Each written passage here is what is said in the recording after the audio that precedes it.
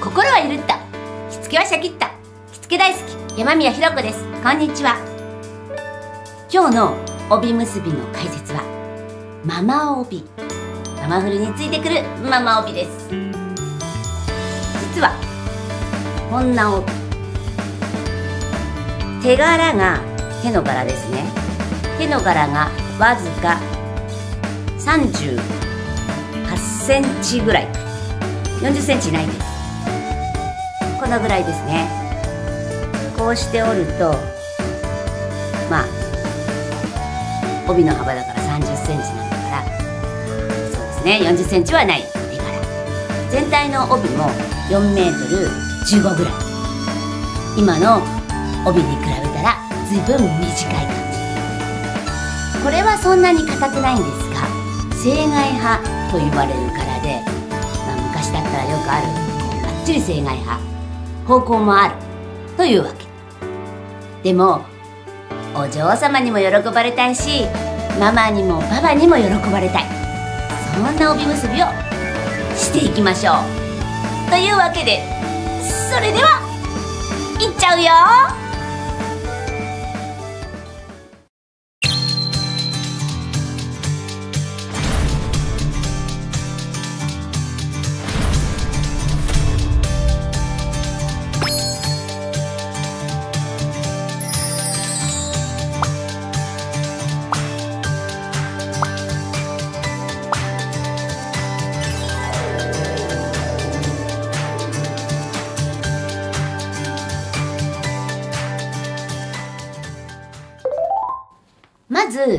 普通に屏風畳をして、柄止まりを脇にするのは、これは短い帯でもそうしてあげないといけないですね。やっぱり柄のないところが、バーンとお背中に見えてしまうことのないように、柄止まりを脇に持ってってあげる。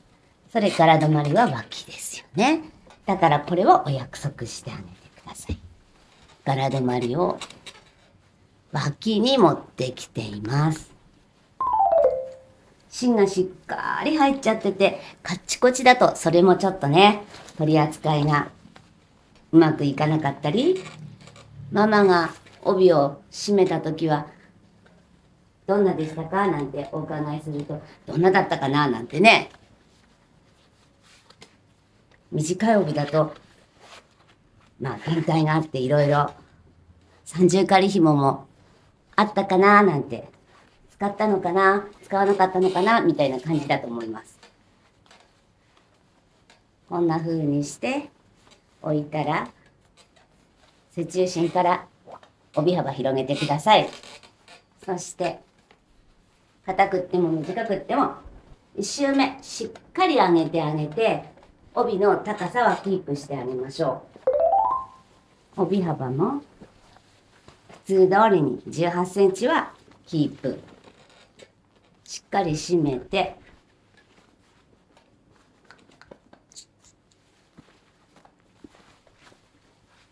手を剥がしてこれタレが上でないと柄に方向があるので手を下から上に向かって上げていくタイプにしないと柄がダメですね。そしてタレ上にして一結びしましょう。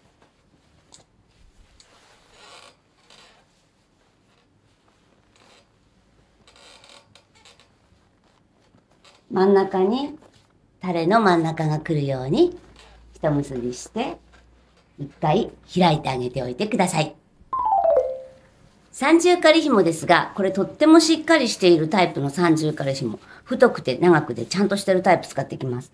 もしも硬くて、こうカチカチだったら弱い短い三重仮紐、レンガバージョンだとちょっと頼りないかもしれないので、そしてこの時はゴムの部分引っ張ってお背中にフィットさせて、前は胴の上で結んでおいてくださいね。こうして三重仮紐は用意です。肩幅ぐらいにはうんこちゃんの羽を作りたいなって考えてください。で、お嬢様が小柄だったら小さめもいいんですが、短い帯をたっぷり使いたいときは、鼓外側だけひだを取ります。パタパタパタ、パタパタ。硬い帯だったら、ここをしっかり、溝を全部同じにしてあげることで綺麗になり、後ろはひだを取らないでいいので、ただつけます。ただつけておいてあげて、手前だけひだを全部同じように取っていきましょう。後ろはただのこんな感じ。ひだ取らなくていいです。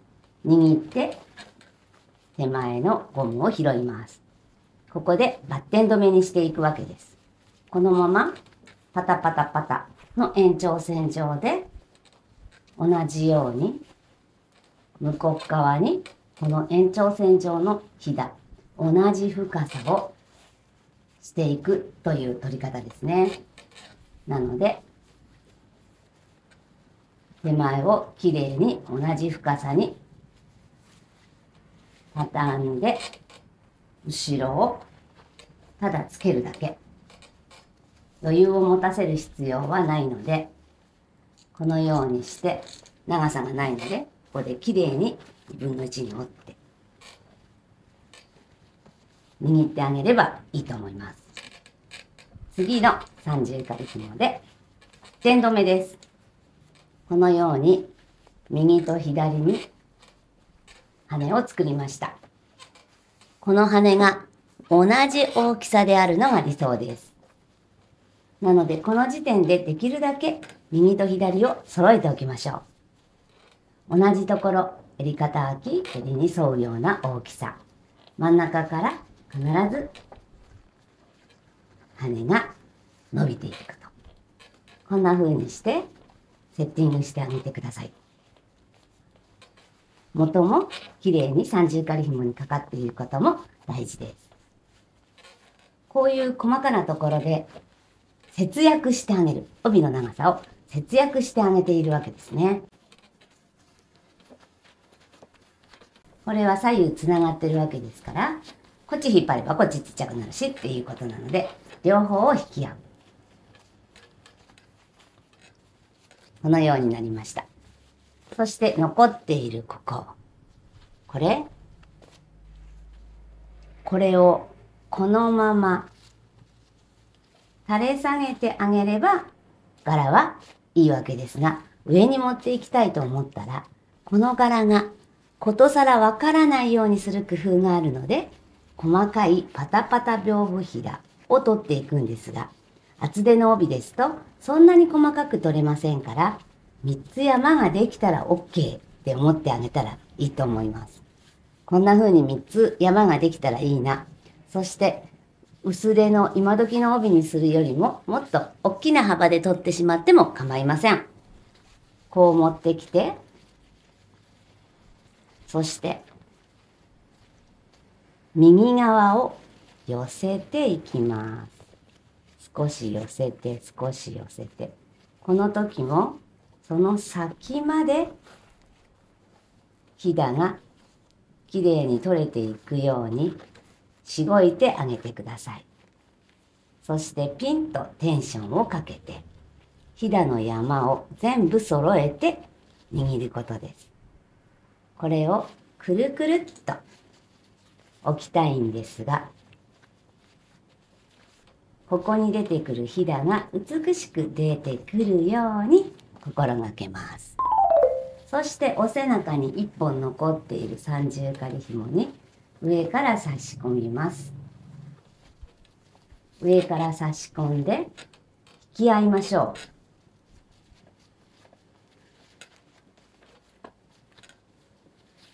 この羽は見えない羽です。メインの羽の後ろにしまってしまいます。そして引き合ってきれいに溝を起こしてあげたら少し斜めにしつらえるのでこの角右にある角見えないところ少し引いてあげながら整えて羽を生き生きと元気があるようにしてみてください。こんな風になりましたか？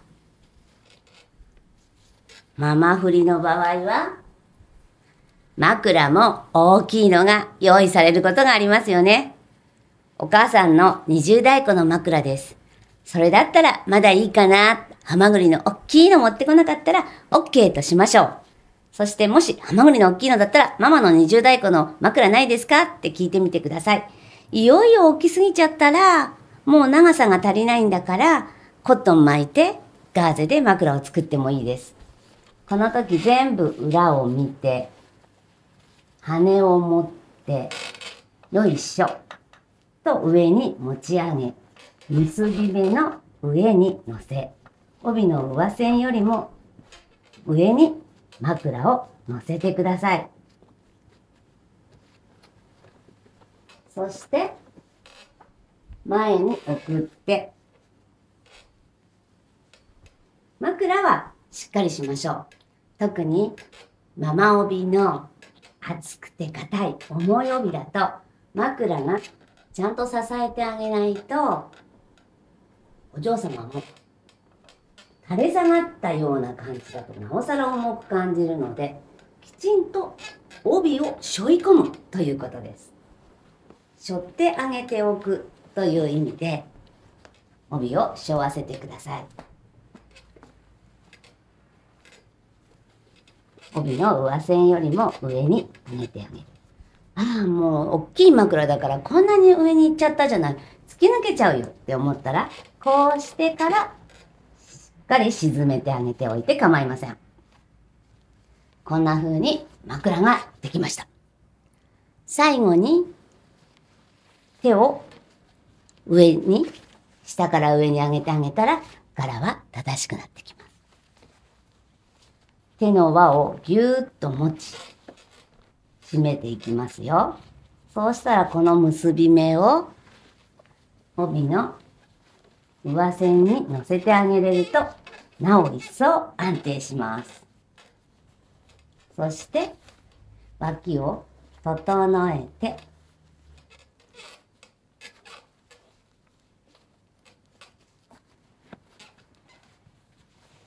手元を開いてください。この中にひだを入れて通したいんです。ここは無理をせずに太鼓に柄が残るようにして表の綺麗なところが出ればいいなって思って裏を見てパタパタパタパタこんなひだを作ってあげてください。全部同じ深さに折ってでこの穴の中にシュルシュルっと入れてあげましょう。落ちてくるのが心配だったら中のバッテン掛けを通してあげていいですよ。そしてこの残った部分で太鼓部分を作っていきます。帯揚げは大きな枕がちゃんと覆えるようにかけておいてあげてください。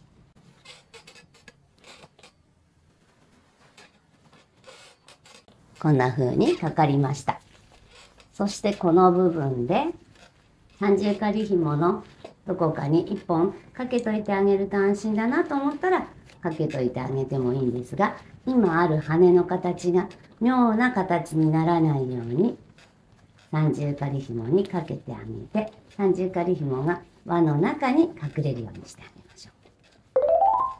そしてこの残った部分で太鼓を巾着状態に可愛く作ってあげてください。丸い感じでいいと思います。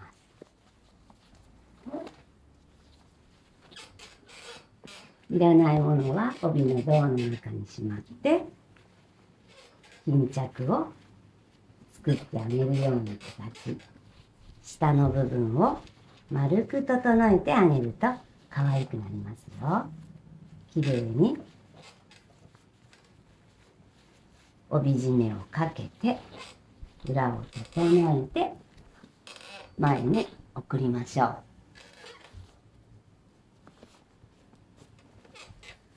帯締めはどんなにしっかり締めても大丈夫です。しっかり締めてあげてくださいね。特にママ帯厚くてしっかり重かったら手を抜いちゃダメです。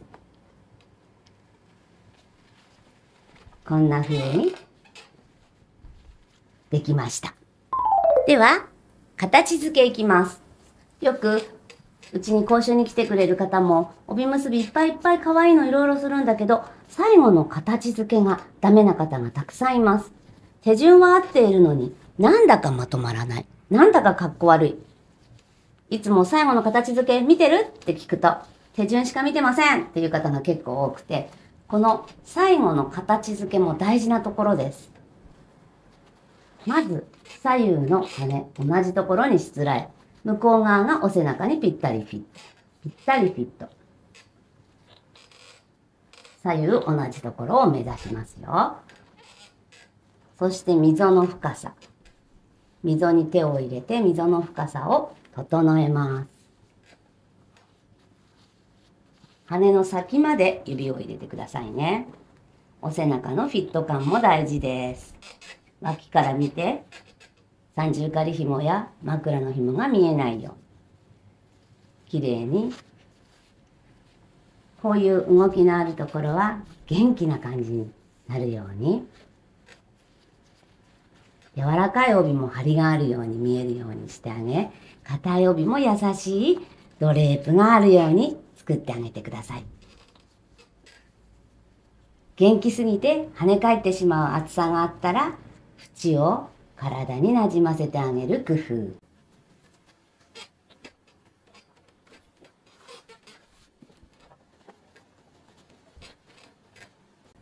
こんな風になりました。ママの時代硬くて短い帯にドレープがあるようなスタイルやひだが少し小さめに出すのは勇気が必要なことだったりあまり流行りでなかったかもしれません。でも今のお嬢様はやっぱりたくさんお写真も見てるのでそういう帯結びの方がしっくりくると思うのでお嬢様にご提案する時にもこういう帯結び。あんこちゃんだったらドレープもあるような感じの大好きだと思います。ママも「あこんなのしたかったな」なんて言ってくれたりババはびくりなさったり「まあふくらすずめじゃないのね」なんて言ってお声掛けくださったりもしています。いかがでしょうか？どう？簡単でしょ？やってみて